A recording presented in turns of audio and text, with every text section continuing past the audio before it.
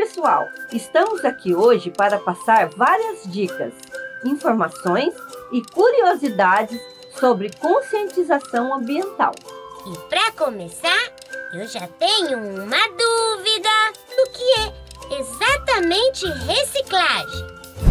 A reciclagem é o processo de transformar, de dar outra utilidade a um determinado material. Portanto, é uma maneira de poupar os recursos naturais que seriam usados na produção de novos materiais e de trazer de volta ao ciclo produtivo o que jogaríamos fora.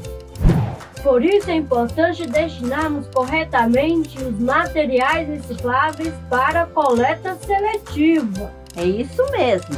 Por hoje é só.